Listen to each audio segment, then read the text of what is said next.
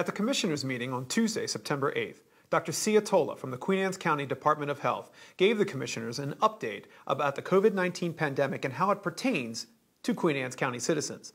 Check it out.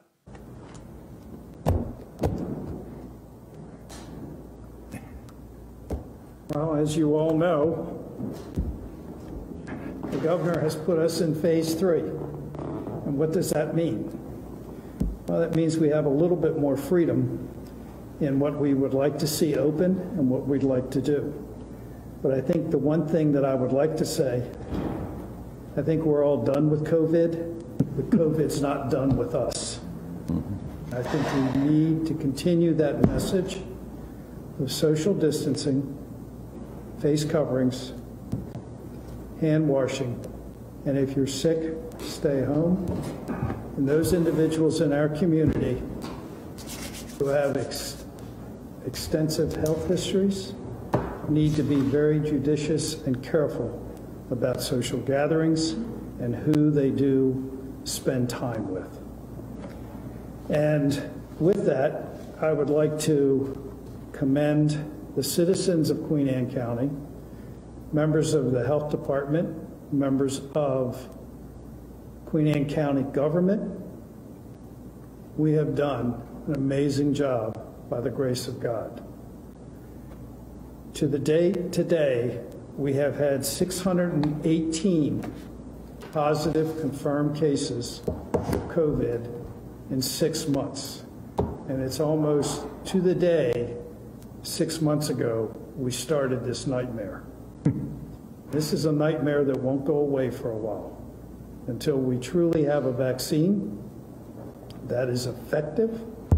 And right now, there's three promising vaccines that are in the works that are being tested.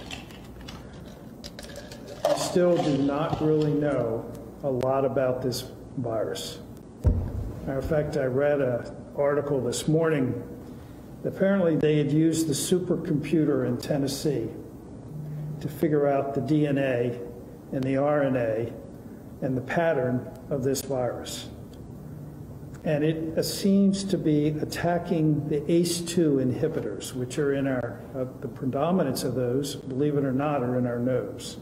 And that's how the virus is getting into us. But this virus then gets into our body and starts changing things in our body called bradykinin.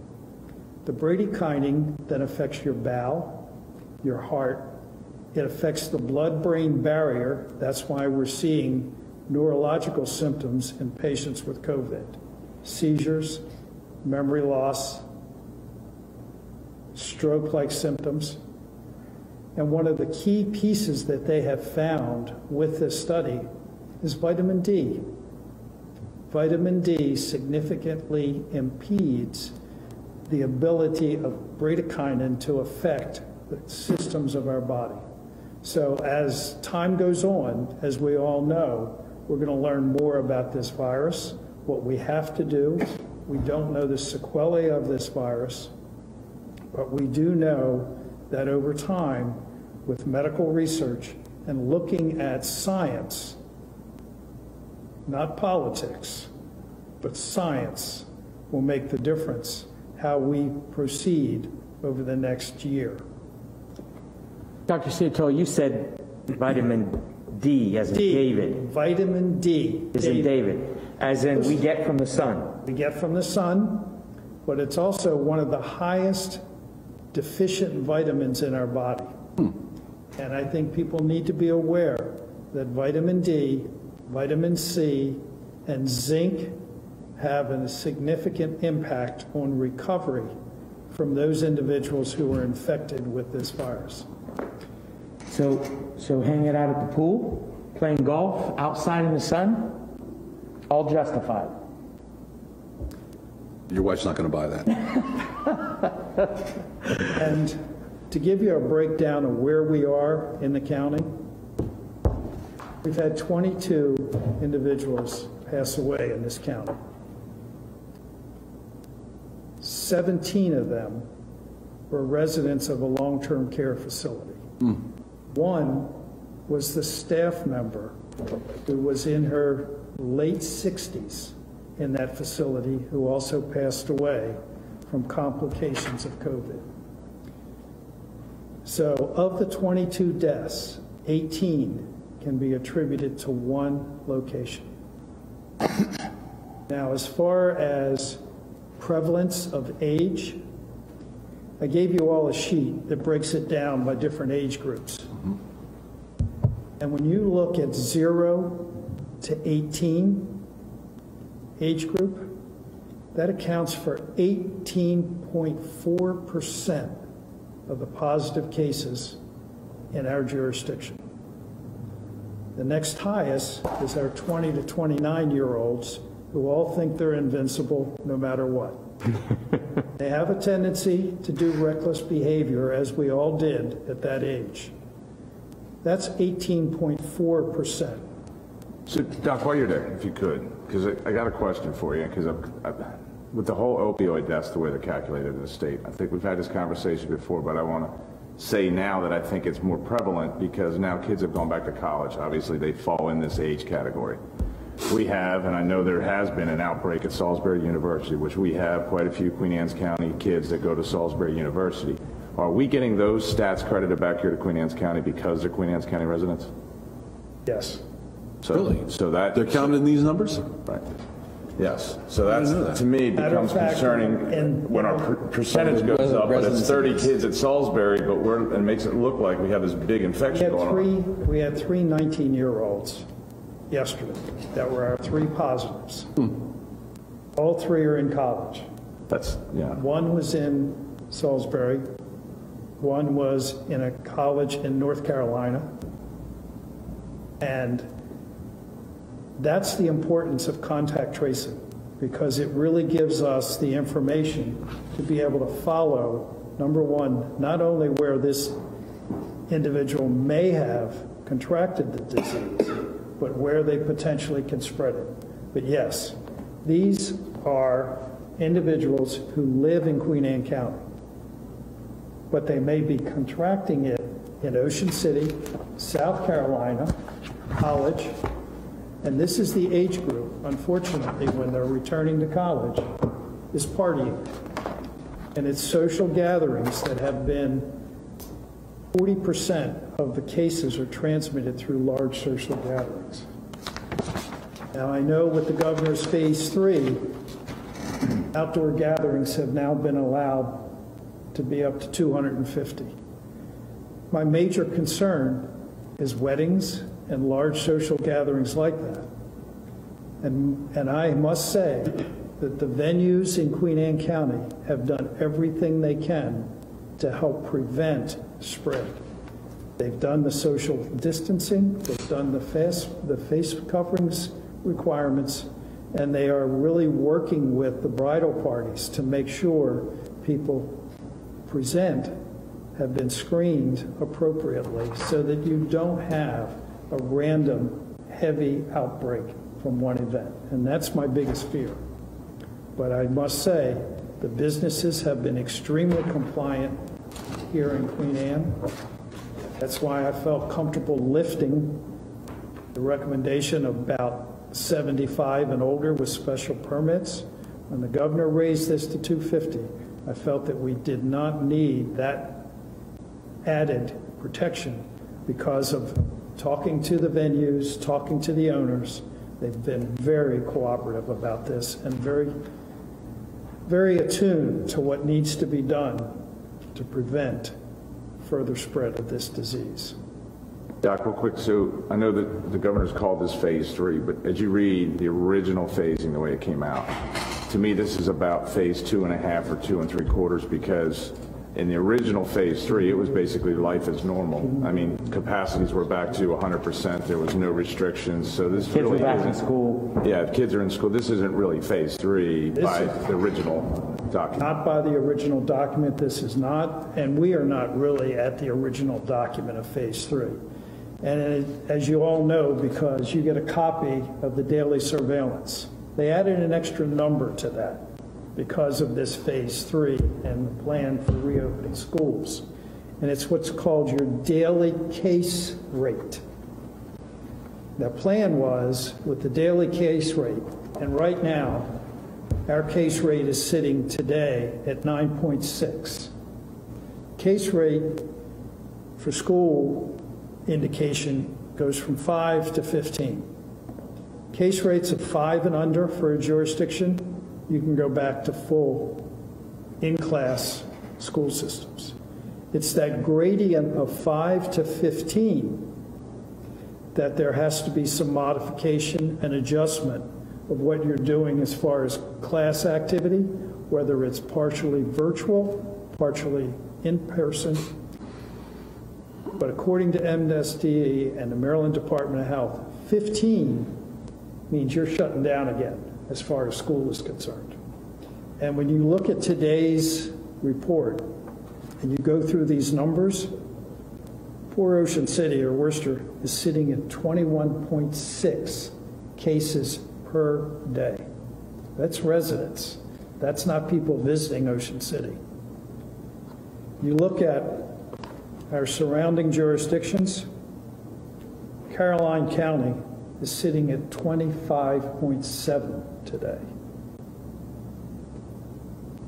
Dorchester is sitting at 17.4.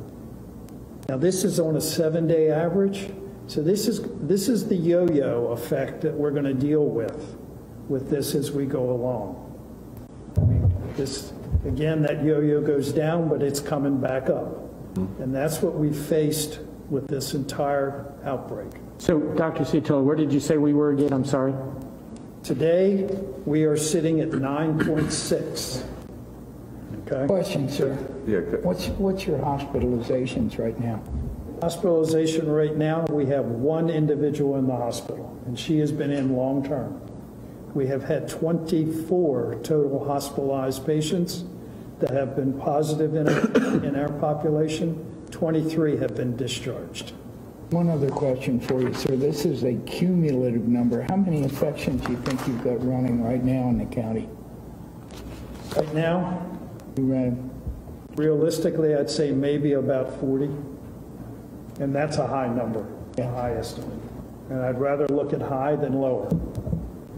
We are testing essentially four days a week. Monday and Wednesday, we are doing mobile testing, either Kent Island or Sudlersville. Tuesdays and Thursdays, we're running the mobile test, the drive-through test in the health department. Now also, because we hit an 8.5% positivity about a month ago, we asked UMS Corporate to help us with setting up Chesapeake College again as an appointment-only testing facility. They run Monday and Wednesday at the college. Matter of fact, next Monday morning, I'm going to meet with Dr. Sumta, who is the CEO of UMS, at 8:30 at Chesapeake College to go over their testing capability and facility. Where we stand now, our regional hospitals, both Anne Arundel and Shore Regional, are able to maintain the COVID positivity and those admitted. Today, I believe there are four positive COVID cases in the hospital in Easton. I think there's one in Chestertown. The hospital has been able to meet those needs and address the hospitalization without being overwhelmed. And hopefully, we will be able to continue that. Doc, when you're, you're circling back to your numbers you were saying with Worcester County at 27 point, that's not total positive cases a day. Is that a percentage of testing cases? Is that what that is? Their percentage of testing, But what was that 27, I guess, is what I'm, The 21.6 right. Is positive cases per day. So they're adding 21 per day? That's based on a seven-day average. So over seven days, So 140 some a week, basically. their percent positivity is sitting at 7.6.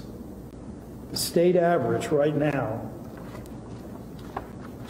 is essentially for positivity, it's based on 3.7 is the state average. The state average on seven-day case rate is unfortunately sitting at 11.0. So even for a phase three, we're seeing a lot of cases. And I agree with you.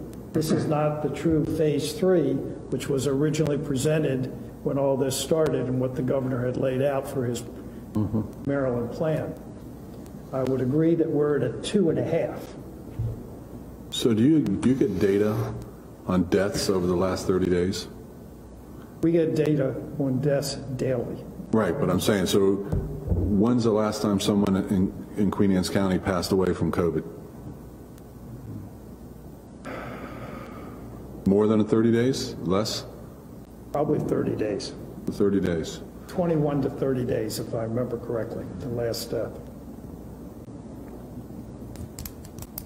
Now, the CARES money mm-hmm. has allowed us to a lot, to do a lot with what we've been doing.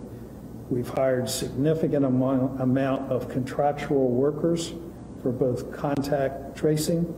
COVID Link is the electronic tracking device and reporting device.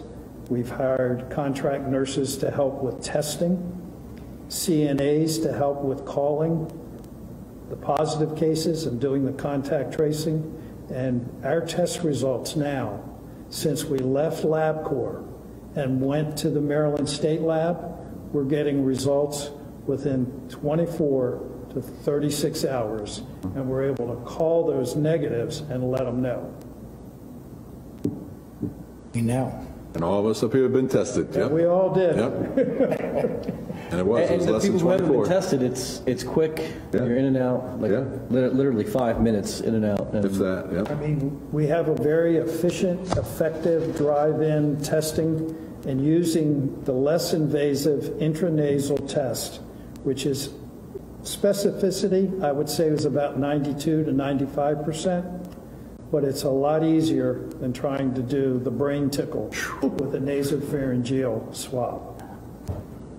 Todd loved it. And the other thing is, by doing the intranasal and self-application of the individual, we're saving on burning through a very sparse PPE. Yeah. Yeah. We are well supplied for at least the next six to nine months for PPE, thanks to the CARES funds.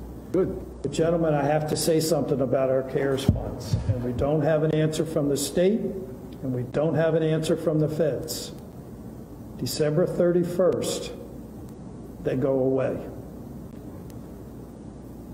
How we're going to be able to do the amount of work we're doing after the 30 31st of December may depend upon what the state is willing to put forward mm-hmm. and what the feds are willing to put forward. I think having gone through the numbers today with Todd, is I think we've got a cushion on some of the money that we've been putting aside for administrative support to carry us for about four to six months into next year. But I think it's important that our legislative leadership knows and that our federal leadership knows that we need to be able to roll remaining funds forward from the 31st of December, where we need more CARES funding from the feds in order to truly address all of the needs that we have going forward. I don't think I need to say anything more Very good. this. And I want to really thank the citizenship of Queen Anne County for being as conscientious, respectful, and alert to what needs to be done to protect their families, their loved ones, and their neighbors. Thank you. Thank you. Thank you. Very good. For more information, check out their Facebook page at QACDOH or check out their website, health.maryland.gov slash QA Health. Thanks a lot.